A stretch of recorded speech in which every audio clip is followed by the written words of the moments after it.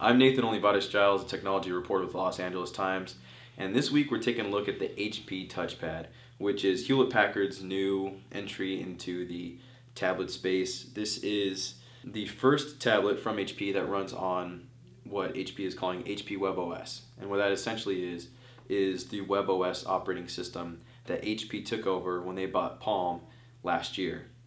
There's a lot to like in the touchpad and there's a lot to really be irritated with. HP WebOS is really fun to use. It's a great operating system and it's really good at multitasking. Right here I have more than half a dozen windows open. They're all running in real time in the background. It has a really great notification system, but there is a lack of apps in HP's uh, app catalog. That can be a little bit frustrating. It could feel a little limiting when you look at all the choices that are afforded to tablet users on iOS or Google Android. One example of what I'm talking about is Amazon's Kindle app. What HP allows you to do is download a Kindle app, but as soon as you download the app and you take a look at it, it says, oh whoops, the Kindle app isn't out yet, but as soon as it comes out, we'll let you know. One app that the HP touchpad does have that even the iPad doesn't have is a native app for Facebook. And what's interesting here is HP built this app themselves. And it's a pretty slick uh, user interface. It's a really nice way to use Facebook on the touchpad.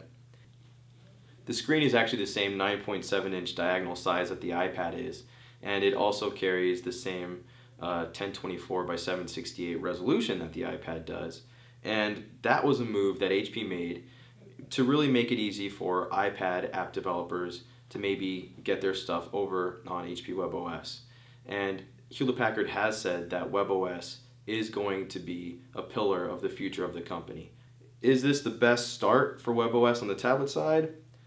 I'm not entirely sure, and the reason I'm not entirely sure is that the hardware actually doesn't feel like it's as far along as the software. It's a little heavy feeling, it feels about iPad 1 weight, it's a little thicker than some of its competitors out there, namely the iPad 2 and the Samsung Galaxy Tab. There's no camera on the rear. There is a camera on the front, and you can use that for Skype. It's a 1.3 megapixel camera, but you can only use it for Skype, and you can't use it for taking photos, which also doesn't make a ton of sense. You have a camera, but you're limiting what users can do with it.